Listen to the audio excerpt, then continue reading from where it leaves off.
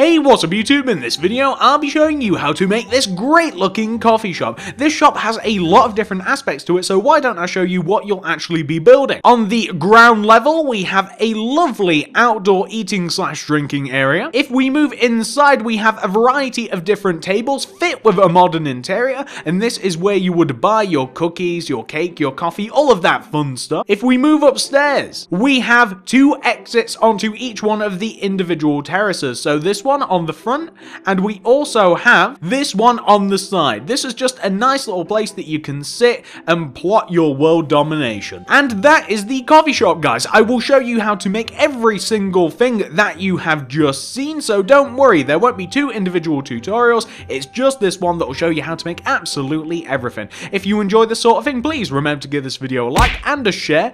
Also, comment down below what would you like to see next, follow me on Twitter at TSMC360, and also also, subscribe if you want to see any more. But that is way more than enough talking. Why don't I show you how to actually make this thing? So if you want to make it, here's what you'll need. Grab yourself some block of quartz, some spruce planks, some quartz stairs, some quartz slabs, some spruce fence, some green wool, some white wool, some wooden trapdoors, and some white stained glass pane. Plus, we'll need every single other material that you see in the inventory right there. Most of it is for the interior, but we do need it anyway. So you might want to take note of what we have, you might want to pause the video, grab everything. Once you've got it, and once you've figured out where you want to make it, I'm going to be making it right about here. Well, you're going to want to kick off your build with a row of four block of quartz coming directly up from the ground. That'll look like one, two, three, and four. We then want to take that fourth block of quartz and we want to extend it backwards by four with the spruce planks. That's one, two, three, four. Then place a block of quartz behind that plank, connect it down to the ground. Then uh, take that first block of quartz, the one that you just connected to the ground, and go left of it with this sequence of blocks. Do one spruce plank, then do one white wool, one dark green, one white, one spruce plank, one block of quartz, and then connect that block of quartz down to the ground. Then going behind this block of quartz, we want to do, in this order, we want a spruce wool plank, then a white wool, a dark green wool, then a spruce wood plank, then a block of quartz. Connect that down to the ground, like that. Now, looking back at what we've just made there, we now want to go left of this top quartz block, and we want to go across by 5 with the spruce wood. That's one, two, three, four, five. Place a block of quartz, connect it down to the ground.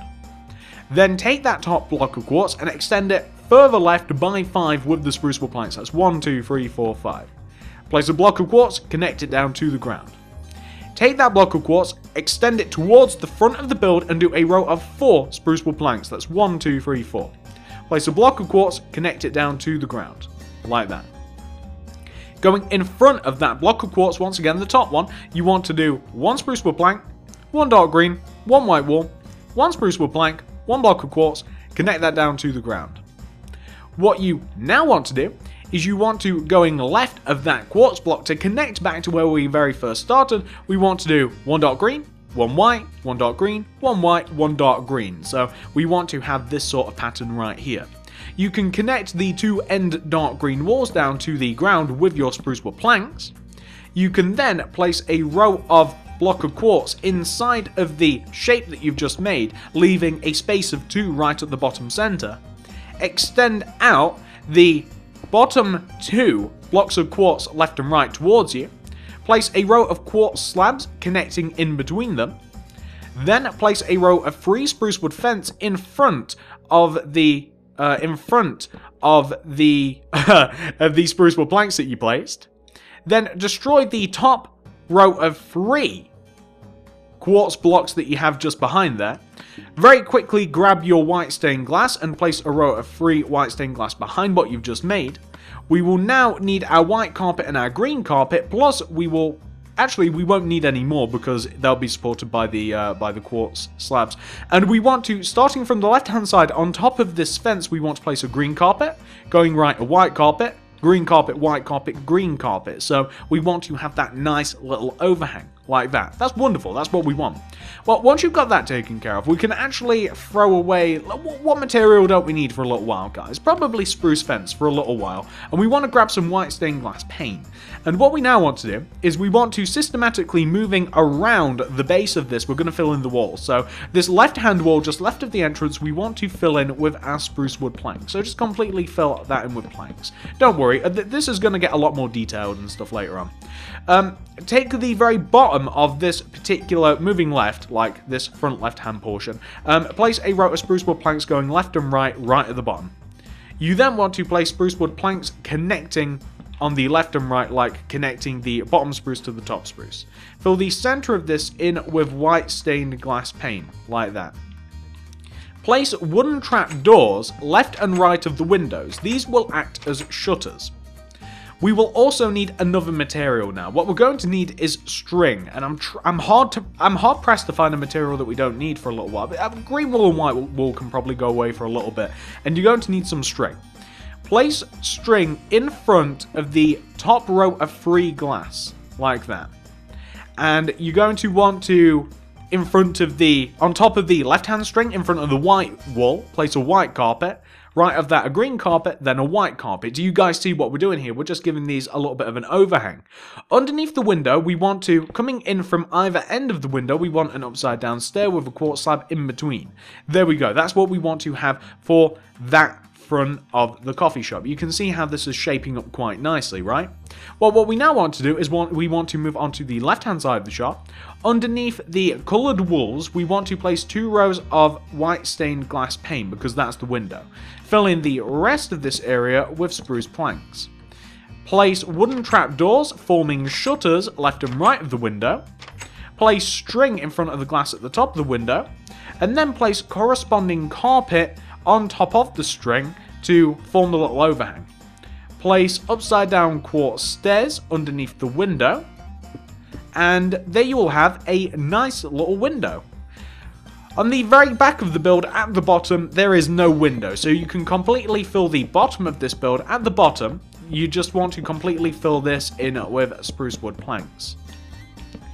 On this side of the build, however, the back side, on the right hand side of the build, this back portion is completely spruce wood planks. However, there is a window here where we have the coloured walls, as you might guess. So we're going to want to do the same thing. We want to place two rows of glass underneath. Then we want to place spruce wood planks all the way around the inside of this. Then we want to place wooden trap doors in front of the blocks left and right of the window string in front of the glass, and then we want to place white carpet, green carpet, and come on, there we go. And then we want to place upside down quartz stairs here directly underneath the window. So there you go. That is the base of the coffee shop for the most part. What we're now going to do is the upper half of the shop. So for the upper half of the shop, we're going to want to grab ourselves the block of quartz again, and we're going to want to can you see where we have these four center blocks of quartz here? We can connect them together if it makes it easier for you. So, these. We want to take the four center blocks of quartz and we want to extend them upwards each by four with the block of quartz. That's one, two, three, and four. And one, two, three, and four. One, two, three, and four. And one, two, three, and four. Like that.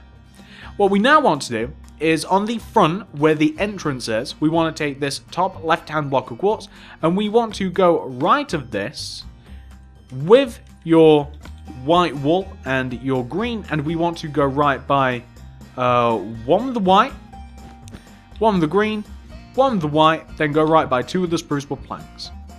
We now want to place opposite where the coloured walls are on the ground, we want to place a row of three spruce wood, like that. Then connect the left hand and right hand spruce wood upwards. Place glass pane in between the empty space, and then place wooden trap doors left and right of the window. There we go. Place string in front of the top window, and if you like, what we can do right now is then add the coloured carpet um, in front of each one of the corresponding uh, walls. So white, green, and white, like that. Also, if you like, you can also add like a little quartz slab underneath the window, just to give it a bit of character. Okay, So what we now want to do is we want to take out our glass block and we're just going to do another door and this door is just going to be right in the window starting from the bottom we're going to have a row of one two glass then we're going to place a spruce wood plank on top. Then right we're then going to put two quartz slabs above the glass and the entrance and we're going to connect in front of the glass. We're not using that block. We're going to use a spruce wood fence to connect it down just to kind of give us a much more interesting um, outward entrance like that what we now want to do, whilst we have it, is use white stained glass block, and we want to go all the way on top and around our coffee shop. So, around the two terraces, mainly, we want to add our glass block, just kind of going around the terraces like this, if you guys can see what I'm talking about. We then, with our quartz slabs, we want to do quartz slabs that go all the way around the glass that we've just placed like this, and it just wants to stop but we'll add more later. And it just wants to stop where you have the quartz blocks. So, like where you have the four quartz pillars, it just doesn't want to come around the back just yet because it is going to correspond with some windows that we're going to have back here. So why don't we actually do those? So, on the back two corners of the build, like the back right hand corner, these two sides, we're going to want to fill these in. So, uh, this very right hand window here, we're going to want to start off with a row of spruce wood right at the bottom here on the second floor, row spruce wood. We then want to do a row of spruce wood planks going up, left, then connecting down. We want to place some white stained glass pane in the center here. We want to place wooden trap doors left and right of the window, like this.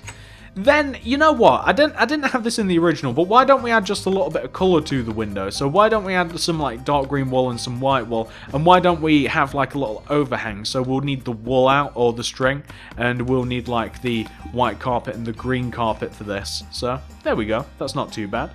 And then we will also place the upside down quartz stairs underneath the window like this. And then if you like, you can like connect that quartz slab to it. And it kind of looks like a mustache, or at least it does when it's all put together. But yeah, that's kind of what we're vibing for here. And if we come to the very back, we want a very similar story. We want like a row of spruce wood planks at the bottom, have it rolling up the side, connects to the top, then connects down. But uh, then we want to, of course, fill in the center of this window with white stained uh, glass pane. Then I'm going to place the wooden trapdoors, and I think that I'm going to add the green wool and white wool carpet at the top of the window, despite the fact that I didn't really plan for it, I don't think. I, am I'm not quite sure I have this on the original, but... Um, I think that would look quite nice, so I'm just going to destroy these and then in an order, maybe like uh, green, white, green, and then I'm just going to place the green carpet um, in front there, white, green, there we are. And do I want to, yeah, okay, and also I'm going to add the upside down quartz stairs underneath each end of the window with a quartz slab in between and then I'll connect all of the quartz together kind of like in this fashion like that okay well, now that, that that's done, it just leaves one side open, so this is this side, and we want to start off by connecting the top of this together with spruce wood planks, the top two block of quartz. And we then want to connect the left hand side down with spruce wood planks. Then we want to go right by two with the spruce wood planks at the bottom. Then connect it upwards. Then go right by one, giving us this sort of shape. So that there you can see this is going to be the entrance out, this is going to be the window. We need to fill the window in with our white stained glass pane. And we're also going to add shutters left of the window, but not the right of the window. Or should we? Actually, we'll add shutters right of the window. We're gonna we're gonna uh, improvise this a little bit. Um, I'm going to destroy up top here, and I'm going to place um, green wool just above the window, and then we're going to have our patented string, and then our green carpet just above. And um, just above the door, we'll have something like we'll just have like a, a quartz slab just above that. So we're accentuating the window a little bit more than the door. Um, it doesn't have to be this way if you don't want to. You can kind of like alternate it. You can make the door like one row. You can make the door like one row um, bigger if you like, but I kind of like this. Um, okay, so what we're now going to do is we're going to fill these two terrace roofs in with block of quartz. I think the block of quartz is a good material for this. Um, spruce wood, spruce wood slabs would also look quite good, but uh, block of quartz because why not? Um, later on, we will also add some uh, some chairs and some stuff like that. But for now, we're just going to leave this as it is, like that. There we go. We filled in both of the terraces. Let's talk about the actual roof here, like the big roof here. Um, this big roof is made out of mainly block of quartz, so we'll need some quartz stairs. We'll also need some quartz slabs. We also need our old pal, the white stained glass pane, plus we need the spruce wood stairs. Okay, this is what we're going to do. So, we're going to form quartz slab blocks on like the left hand side of this roof on the left and on the right. And these are going to be upward and diagonally inwards in relation to the top blocks of quartz that we have for the pillars. And then we're going to have a row of two block of quartz just hovering above in the center here. And then we're going to have white stained glass pane hidden in between then, if we come to the opposite side, we're going to have a block of quartz coming inwards diagonally with white stained glass pane in between, and then quartz slabs on top of the white stained glass pane. Then we're going to fill in the first two rows of the roof with uh, spruce wood stairs. So on top of the, like on the front and the back of the coffee shop, we want to have two rows of spruce wood stairs, kind of like that, just aside the quartz blocks that we've just formed on the left and right of the shop. We then want to extend those blocks outwards across in front of, uh, on the left and right, we want to extend that roof outwards by one with the quartz stairs, like this. And what we also want to do is we want to place upside down quartz stairs underneath and to the side, I suppose, of those overhanging quartz stairs.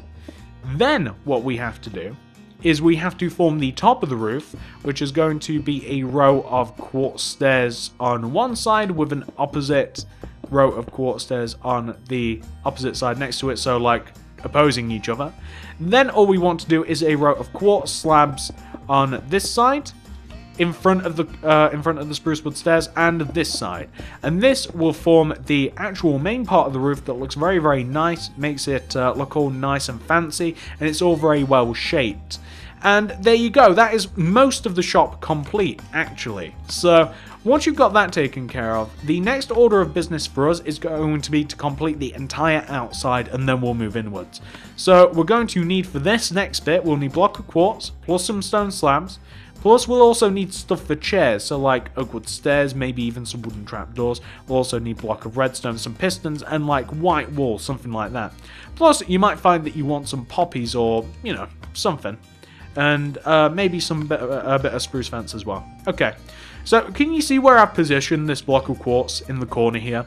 This is purposeful because I want to connect the front left-hand corner of the coffee shop and the front, well, the other front left-hand corner of the coffee shop together. I kind of want to, I kind of want to form like a solid shape, like with this L. I want to form the entrance. I want to connect the entrance left to the very left-hand side of the coffee shop with this sort of shape. I then want to fill the floor in here with stone slabs because the outside here is going to be stone slabs for the flooring. It might also be, you know what, I think I'm also going to have that for the floor inside as well. Um, but you can kind of like change it, it's something that's not quite important. Um, then going to do a row of spruce wood fence around the block of quartz, leaving a gap of one on the right hand side here. And then I'm just going to put a table out here, right in the center. It's going to be made up of a block of redstone with a piston and a white carpet. I'm then going to place an oak wood stair opposing the table, leaving a gap of one either side. And then I think I'm just going to form the chairs using wooden trap doors, um, which I'm also going to do upstairs as well. I'm going to keep like the tables and the chairs um, the same all the way throughout the build. And that's just a nice little thing that you can have. Um, you might also find that you want a row of poppies or um, any flower, really, kind of bordering the coffee shop. I don't know why. I like using flowers a lot. Poppies are my favourite, red's my favourite colour, that's probably why. But I think that they really add something to a build, especially when it doesn't have that much colour into it. Also, you might feel as though that you want to form a path going around the build, and something that we should do whilst we uh, take care of this path is destroy the entire ground floor of the coffee shop, and I'm also going to dig a path around my shop, and I'm going to fill it all in with stone slabs. This is kind of like this is kind of like a personal thing dependent upon where you're putting it in your own particular world. Mine looks this way for a reason to fit the shape of where I'm putting my shop. So you guys just do your own thing when it comes to like filling in the floor with what material you want and like doing a path around it if you want to.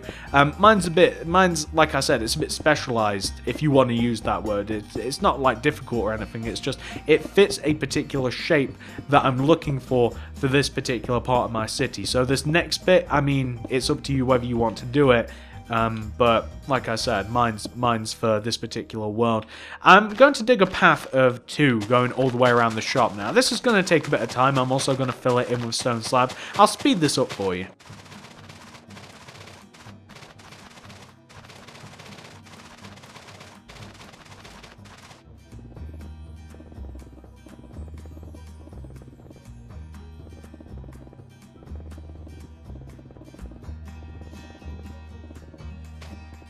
Okay, so as you can see, I have now completed the outside of the coffee shop. I'm sure that you can see the process that I went through to do that. You might want to do a similar process, you might want to add a bit more of a path at the back of yours. It really does depend exactly where you're placing it.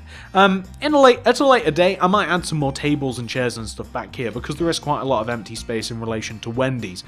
But that is the outside done. Let's talk about the inside of the shop here. So if we come to the inside of the shop, we've got a little bit to do.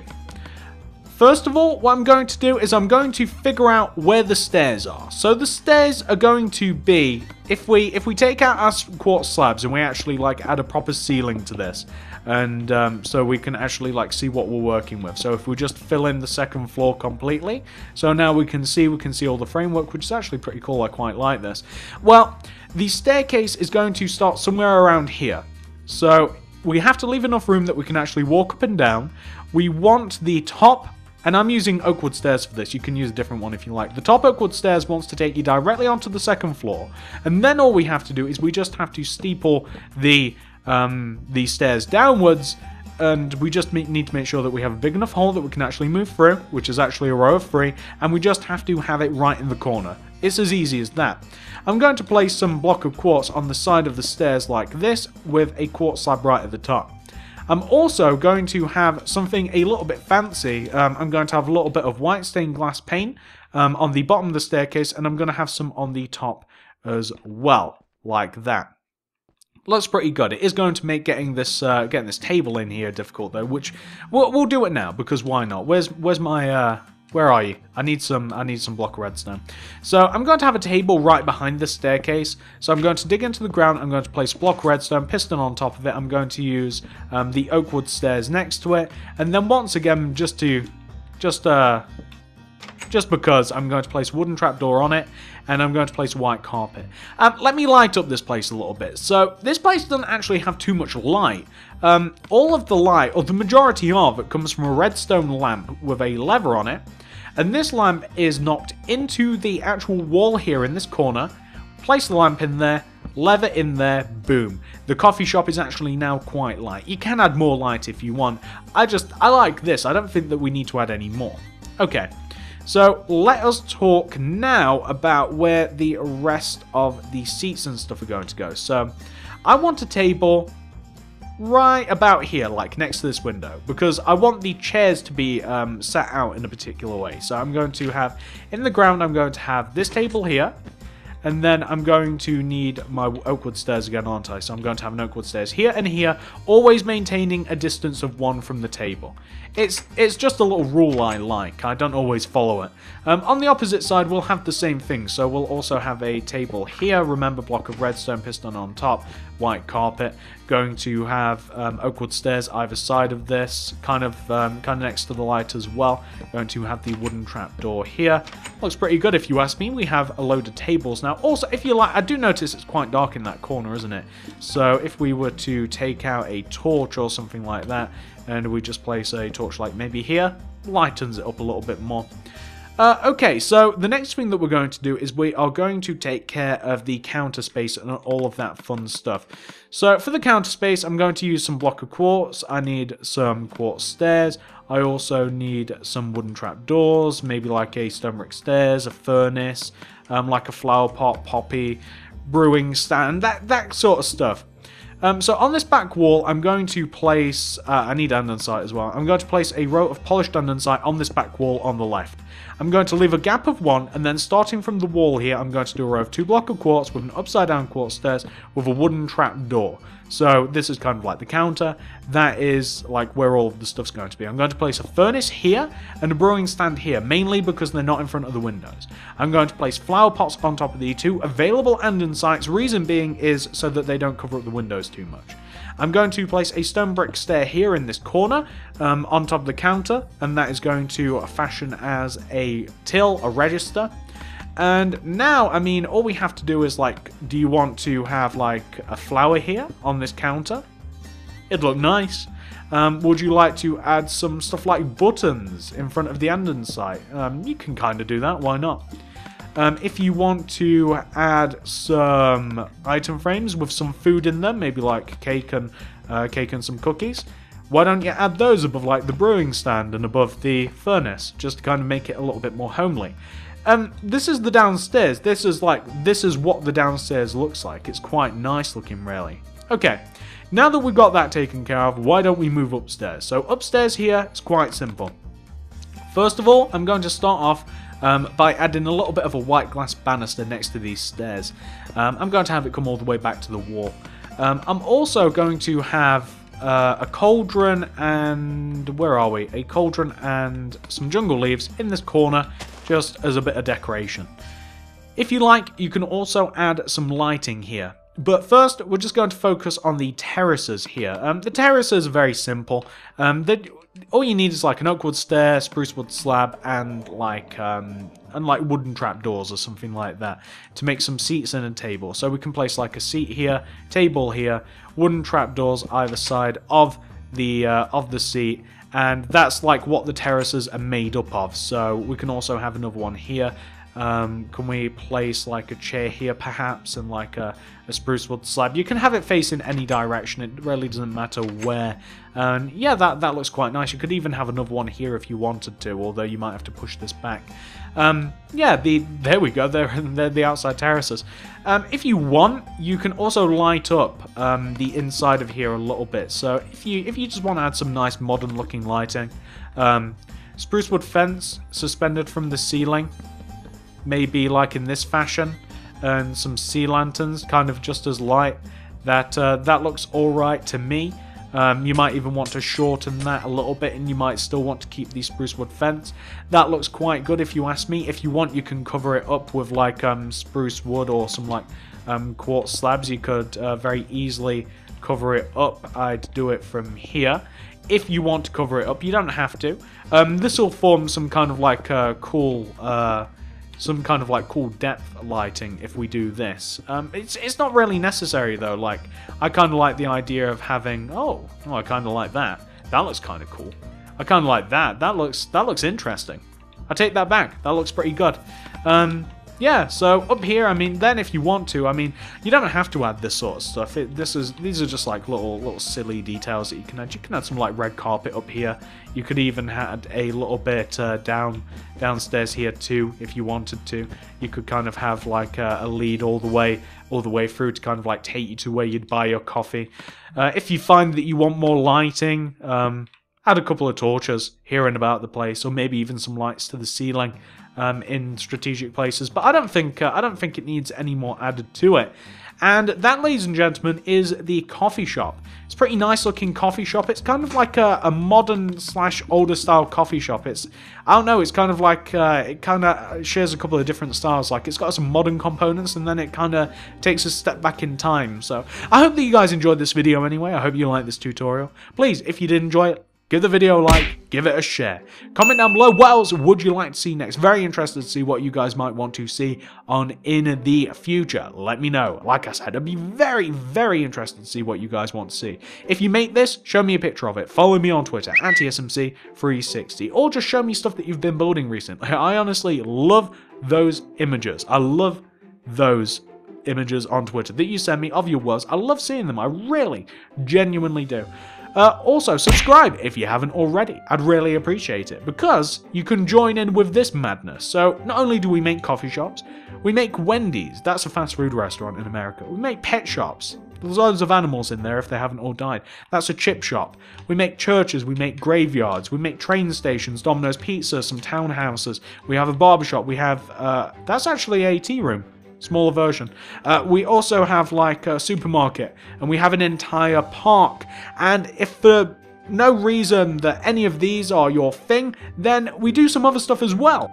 This is my survival village that I am very slowly working on. A lot of these builds are really old, but I am currently updating it with some more modern builds, and if you guys want to be here to check out the ride, subscribe. And also, if you want to build anything that you have seen on the screen, literally anything that you've seen, I will link all of the appropriate playlists, which will take you to each one of the individual tutorials that will show you how to make absolutely everything that you have seen on your screen so far. So whether you're working on like a, a, survival town that has loads of different aspects to it, or whether you're working on a park or a train station or something a bit more modern. We even do fantasy builds. I'm actually working on um, Planet Express from Futurama at the moment. We do everything around here is kind of my point. So check out that all of that out in the card system in the description below. Like I said, subscribe if you haven't already. Like, and share if you wouldn't mind. Follow me on Twitter, and I'll see you guys in the next video.